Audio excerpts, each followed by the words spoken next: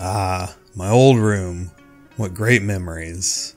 The old hand me down computer desk that proudly displayed an old habit of mine, and that had little to no cable management. It was good while it lasted. But things don't always last forever.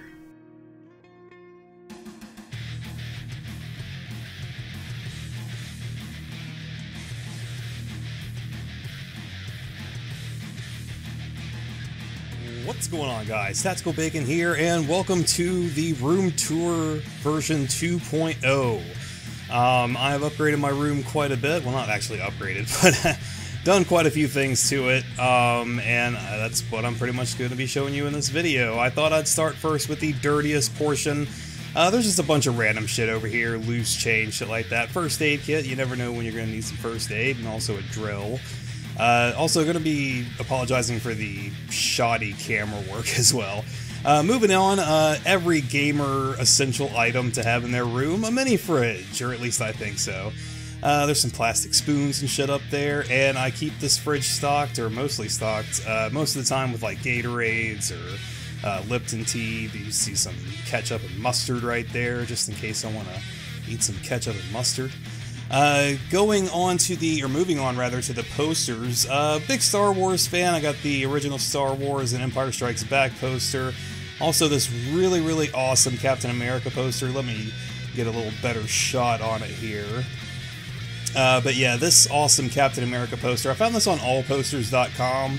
And obviously, I mean, look at it. It's fucking amazing. It's Captain America storming the beaches with a bunch of World War II soldiers.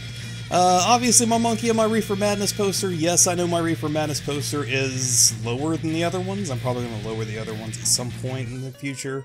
Um, moving on. Hey, look at that. I've actually got curtains now. Uh, if you remember in the uh, previous room tour, I just had a bunch of fucking sheets over my windows blocking out the light, and it looked quite ghetto. Uh, but now we're going to go ahead and uh, move on to the pop vinyls. I have my uh, pop vinyls now proudly displayed on a proper shelf hanging on the wall there. Um, I have quite a few. These are all my Marvel characters. I have some other ones that I'll be showing you later on in the video.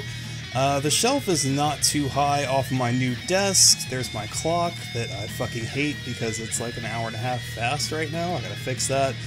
Um, obviously, my Yellow Rose poster has pretty much stayed in the same position, and this is my new poster over here. This is my uh, Nuka Cola, Fallout Nuka Cola poster. I really, really like this poster. Um, moving on, I did not have a TV in my last setup. This is a 40 inch Samsung Smart TV. Uh, Storm got knocked over here. Um, these are the rest of the Marvel Bobble. Ugh. Marvel bobbleheads that I was not able to fit up on the shelf. I'm going to have another shelf once I get more of them. But uh, down here you can see I've got proudly displayed a few graphic novels of mine or that I really enjoy. Civil War, Flashpoint, Superman Red Sun, and Kingdom Come. Kingdom Come has probably got some of the best artwork I've ever seen. Uh, moving on to the desk though, I got an L-shaped desk now. And uh, as you can see there, I got a Lipton tea. Uh, before I move on to the desk, I'm going to show you quickly my tablet. This is a Galaxy Tab A, I think? Something like that. Uh, here's my two monitors right here. Yes, the Galaxy Tab had a Volkswagen uh, logo on it. This is my new keyboard, uh, the CM Storm keyboard and mouse. I believe it's the CM Storm Enforcer keyboard and mouse combo. Uh, wanted to do this because it kind of matched the color scheme a lot more as opposed to the Razer and Logitech. Also, there's my little vape thing. Uh, I vape now instead of smoking, so that was the old habit that I kicked, was smoking. Uh, here's my computer right here. Excuse me. Here's my computer right here, and uh, it's quite nicely set up on this desk, I think. Uh, I like having the window pointed out to where I can kind of just look inside of it and admire all the components and everything. But that's basically the entertainment and the, uh, or the entertainment center and the L-shaped desk, rather. Um, quickly, I just want to show off the amazing cable management I was able to pull off. Obviously, I can't hide that power strip very well. Uh, I could probably tuck it back there, though. Uh, you see some scuffs on the wall, but really not a big deal. And honestly, what setup would be complete without the fucking LED lights?